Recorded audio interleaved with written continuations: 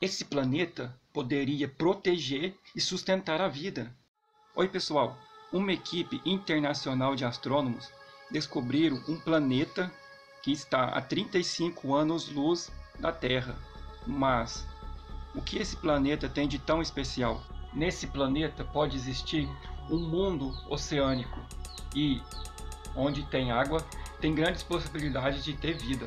E a coautora Maria Rosa Zapatero Osório, que é astrônoma, garante que o planeta na zona habitável pode ter uma atmosfera que poderia proteger e sustentar a vida. Eu acho que se tem água, tem grandes chances mesmo sim de ter vida, nem que sejam uns, uns lambarizinhos, uns lebistinhos, que onde você anda aqui na Terra, que você vê uma água, sempre encontra lebiste, lambarizinho. Então quem sabe, pode até existir uma vida inteligente nesse planeta. E você, acha que tem vida nesse planeta? Se tem água, pode ser que exista algum tipo de vida. Então, se você acha que existe, deixe aqui nos comentários a sua opinião. Se você acha que tem alguma vida, algum peixe, ou se não tem absolutamente nada.